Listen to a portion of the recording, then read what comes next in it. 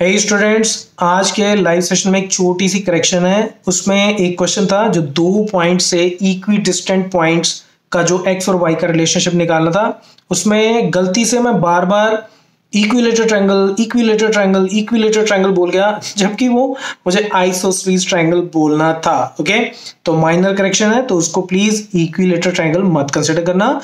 मैंने बनाई भी आइसोसिस ट्रायंगल थी, लेकिन बोलने में बार बार I don't know how equilateral triangle आता रहा। हालाँकि मैंने वहाँ पे मेंशन भी कर दिया था बाद में कि it's आइसोसिस triangle okay so minor correction my apologies bye bye